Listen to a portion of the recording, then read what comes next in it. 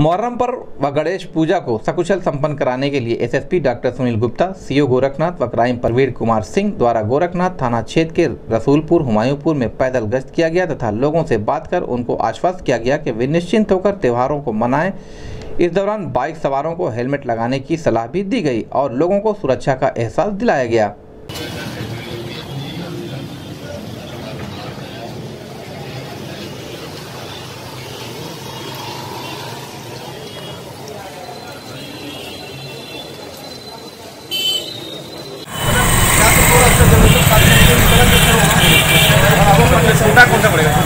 बेटा हेलमेट लगा है मेरा बेटा हेलमेट लगा के दो महीना बाद चला है